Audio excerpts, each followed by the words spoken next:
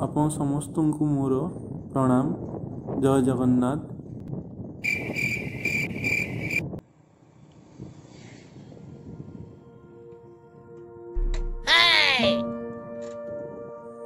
ଆଜି ଆମେ ଯାଉଛୁ ଘୋରଡ଼ିଆ ସ୍ଥିତ ବଣି ବକ୍ରେଶ୍ୱରଙ୍କ ପାଖକୁ। ବାବା ବଣି ବକ୍ରେଶ୍ୱରଙ୍କ ମନ୍ଦିର ବାରଶହ ମସିହାର।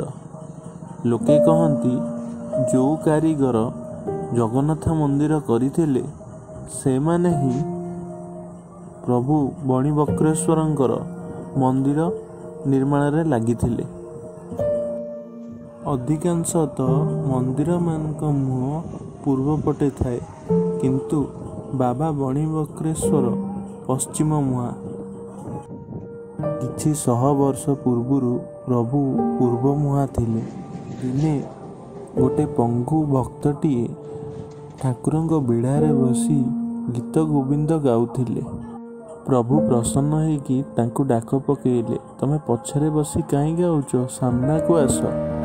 ସେଠୁ ସେ ଭକ୍ତ କହିଲେ ପ୍ରଭୁ ମୁଁ ପଙ୍ଗୁ ବ୍ୟକ୍ତିଟିଏ। ମୁଁ ଆଗକୁ ଯାଇପାରିବିନି। ସେଇ କ୍ଷଣକେ ପ୍ରଭୁ ପୂର୍ବରୁ ପଶ୍ଚିମ ବୁଲି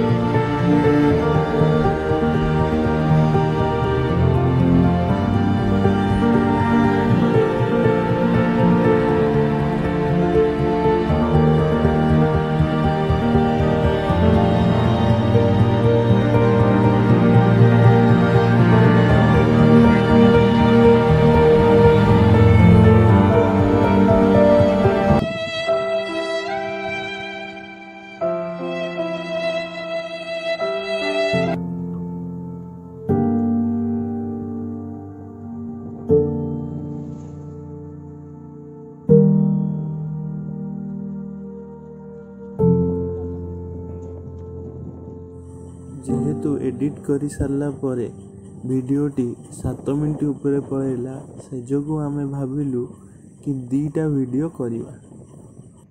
ଆପଣଙ୍କୁ ଯଦି ଆମ ଭିଡ଼ିଓଟି ପସନ୍ଦ ଆସିଲା ଦୟାକରି ଲାଇକ୍ ସେୟାର ଆଉ ସବସ୍କ୍ରାଇବ୍ କରନ୍ତୁ।